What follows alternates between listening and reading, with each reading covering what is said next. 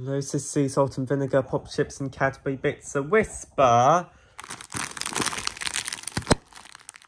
Hey, Thomas. You've been fault.